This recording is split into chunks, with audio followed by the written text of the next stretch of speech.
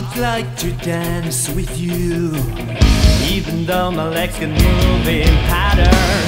Hold you in my arms tonight.